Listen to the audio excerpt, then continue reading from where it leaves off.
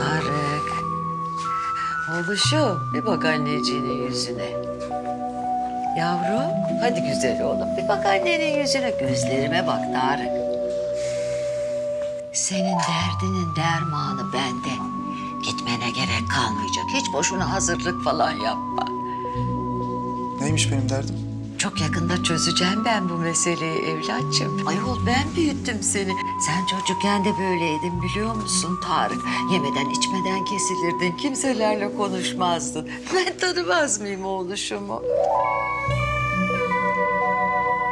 Öyle güldüğüne göre hiçbir şey anlamamışsın demek ki anne.